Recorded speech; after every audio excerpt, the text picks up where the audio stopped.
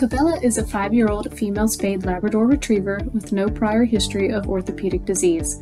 At home, she has always acted like a normal dog and has had no signs of pain or lameness. The owner believed her to be in perfect health. During a routine wellness check, Cabela was placed on the companion stance analyzer as a screening tool for early lameness detection. The stance analyzer showed decreased weight bearing of the right rear limb and increased weight bearing of the front limbs due to compensation.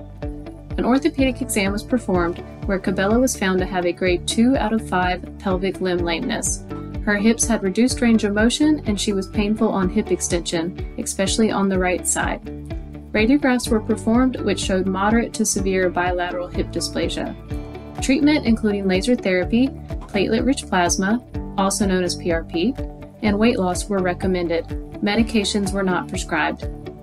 In a dog with no orthopedic disease, they will bear 30% of their total body weight in each front limb and 20% in each rear limb.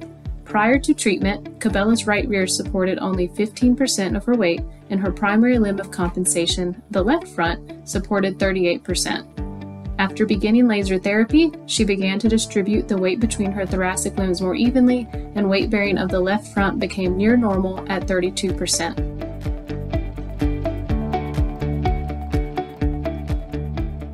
After the first PRP injection, weight bearing of the right rear improved to 17%, and after the second PRP injection, weight bearing of all limbs returned to normal.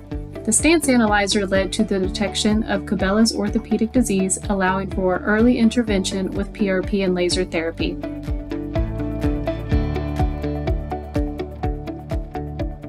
At her last exam, she had improved hip extension with no pain and was distributing her weight normally between limbs. The owner reports Cabela is less stiff when walking and is pleased medications are not needed. Cabela will be regularly monitored with the stance analyzer and will return for repeat PRP injections every 6 to 9 months.